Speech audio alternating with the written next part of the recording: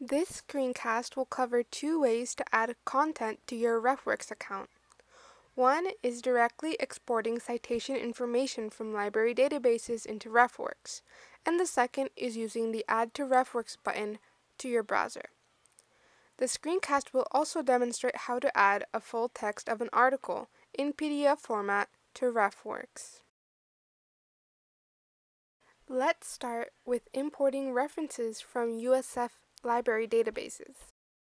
Let's say you want to add this article to your RefWorks account. Click on the title of the article so you can see the full record. On the right side of the screen, you'll see the option to export this citation. Go ahead and click Export. You'll notice that Direct Export to RefWorks is already selected, so all you have to do is click Save. You'll be asked which version of RefWorks you want to export to. Select Yes, export to the newest version of RefWorks.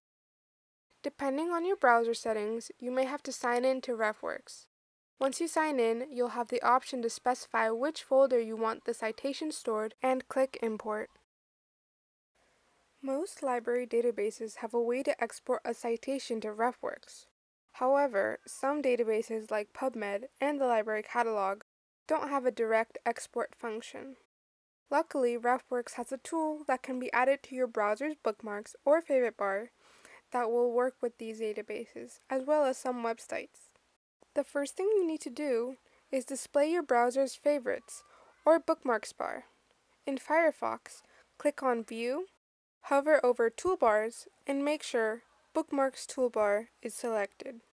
In Chrome, Either click on View at the top of the screen or on the three dots in the upper right corner of your browser screen and select Show Bookmarks bar.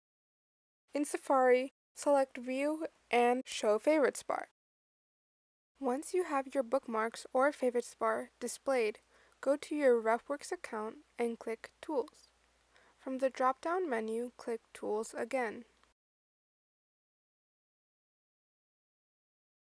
And then select Install Save to RefWorks. Now drag the gray Save to RefWorks button into your browser bookmarks or favorites bar. Now, when you're in a database that doesn't offer direct export function, you can use the Save to RefWorks button to import the citation into your RefWorks database.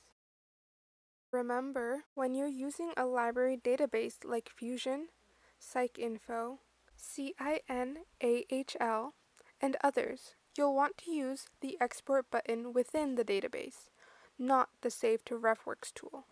The Save to RefWorks tool is primarily for databases and websites that don't offer a direct export feature. Thank you for watching the screencast about adding content to your RefWorks account. If you need additional help, check out our other introductory screencasts or you can reach out to a librarian through the Gleeson Library website.